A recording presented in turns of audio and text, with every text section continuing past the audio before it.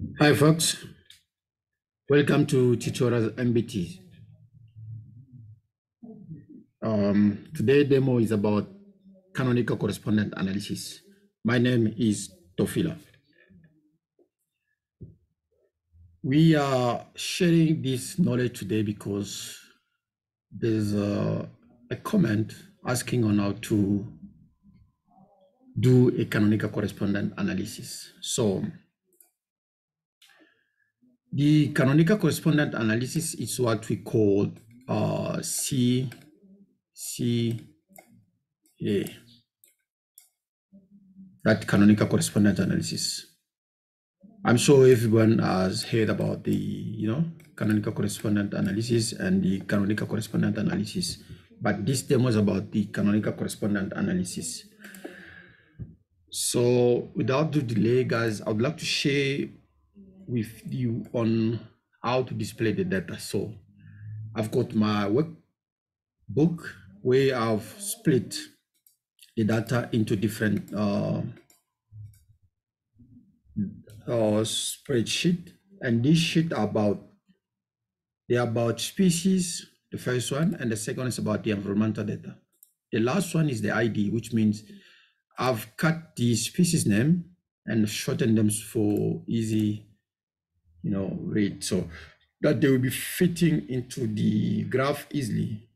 You know, if they are too long, it's gonna be overlapping and it won't look nice. So I just shorten them. And you may also do the same for your graph, you know. Now I've got 68 species and I've got 45 plot. 45 plot. The species are about 68. They got up to BQ, yes, that's really the last.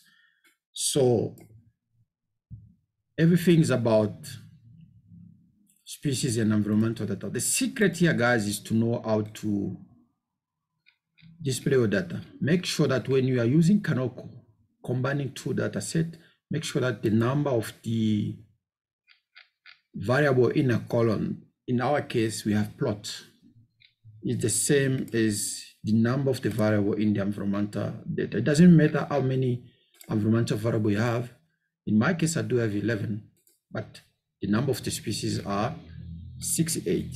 So you must see yourself, when you have 11 plot and I mean 45 plot, 45 plot for the environmental variable and 11 environmental, but 68.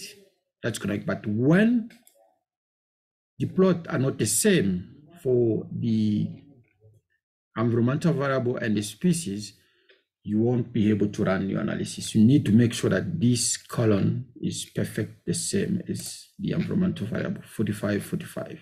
Otherwise, you won't run the, analysis. So how to run a PCA graph from this data look the same as this one. So without the delay, I'm going to close Excel and keep the Canoco so that we can run the analysis. I'm going to restart the process. I'm going to go to import the data that I just showed you. I'm not going to keep this graph. So I'm gonna upload the file. As you can see here, I'm going to pick up the data, upload the file.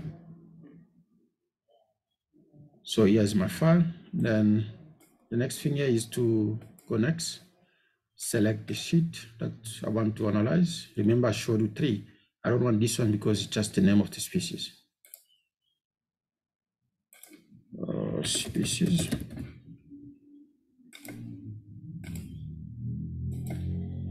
Table one and then table two is about the environmental variable. So I'm going to go environmental data. This is just a specification. Remember, guys, if this condition is not met, you won't be able to run your analysis. Make sure that all the column has the same number of plot. I have to accept that because that's my condition. I'm going to choose the constraint. Here's the number of the species and the number of the plot. I'm yes.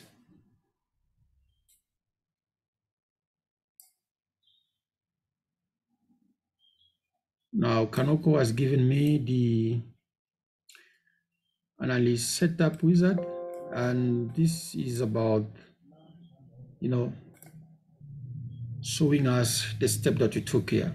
Now, the first step was to upload the data. The second one is to do the analysis. That's why we have, as you can see, if I want to show you guys here, the project log, you see that the first step has been adjust and agree within the analysis. Now, by default, my analysis have been ticked on the CCA. I can change if I want to, but since the objective of today demo is about the CCA, I'm gonna leave it on CCA and perform the analysis without changing anything. I can make the setup or the dialogue uh, small so that you can use you can view it yourself too, or I can leave it big as TR. So all is up to the person who's running the analysis, guys. You can make it big or you can make it small. Now we'll finish this process. Then Canoco is busy processing the other steps. As you may see here, I took the constraint stat Yes, that's why we have a constraint here. Then the analysis of constraints about to be performed. Now, the next step will be to continue with the default as they are. So I'm not changing anything until um, I finish my analysis. I may change if I want to, but in this case, I don't see a need of changing because I'm just demonstrating. But in the case where I need to go specific, then need to change. Now, Canoco is doing, uh, is running the plot behind the scene.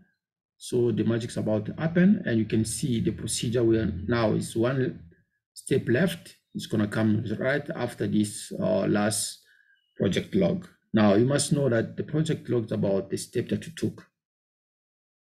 And make sure that this project log is always blue because when there's another color, it means there's a problem.